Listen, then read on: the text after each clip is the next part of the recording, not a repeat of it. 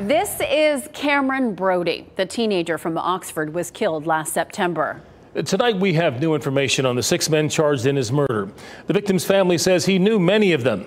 WRAL's Monica Casey has the latest on this case and how Brodie's family is remembering him. Court records and search warrants I dug into here in Granville County show a chaotic night last September when 17 year old Cameron Brodie was shot and killed.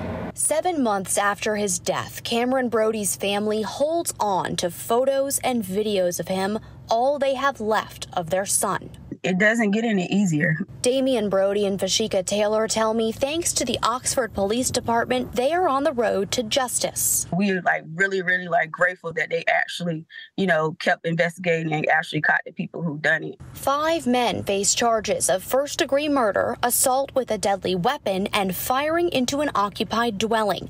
Desario Johnson Cates, Aquavion Trotman, DeQuavion Wright, Kalen Smith, and Jameel Sibbles were all indicted indicted by a grand jury. Dominic Duncans also faces two felony charges for an accessory after the fact.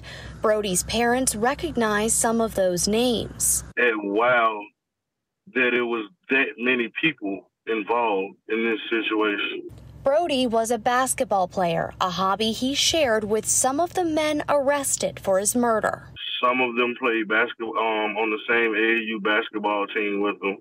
Taylor tells me the number of people involved is one of the most painful parts. Knowing that that he stepped out on the court and didn't know what was about to happen and just had open fire on him, he never had a chance. He never had a chance. In Oxford, Monica Casey, WRAL News.